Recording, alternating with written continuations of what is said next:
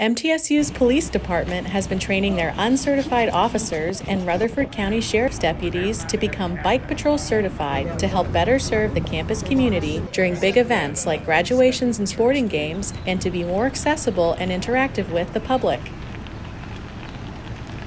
Last time we had bike training was about four years ago. We'll train about total of probably 15, 16 new officers over the course of the summer. The plan is to implement it into our regular shifts, get it for football games, special events, graduations, and then maybe to offer some overtime for it just to have officers on the street, on bike, doing extra patrols for to be seen in the community. We're just hoping that you know you say hi and you, you, get more of interaction. We like talking to people. We want to be seen more, and that way we build better relationships with, with everybody on campus. There's certain obstacles that they have to go through during this course and some of the stuff will actually be here in the cones and some are actually practical on the roads that to pass. Um, they also have a 50 question test that they'll be taking at the end of the course.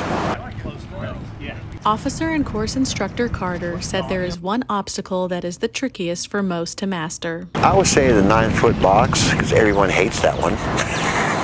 So that's your favorite spot? uh, I really just expected a lot of riding, and I mean, most of us have ridden bicycles at least once in our life, but uh, maybe not often, or maybe it's been a while. Uh, for me, it's been a long time since I've ridden a bicycle, so I really didn't know what to expect. Oh, it's been great. It's been great to come out here and work with uh, RCSO uh, and all the partners here. Um, everybody's been really encouraging, and it's been a pretty uh, positive environment to learn. Here, there'd be some advanced riding techniques of some sort, but I really wasn't exactly sure what they all would be until when we came out, we saw all the cones out it was kind of intimidating. 100% just interacting with uh, students and faculty on campus. I mean, even on our short campus ride we had the other day, we had a really positive interaction with everybody. So I'm really looking forward to that. For more on this story and other MTSU news, visit MTSUnews.com.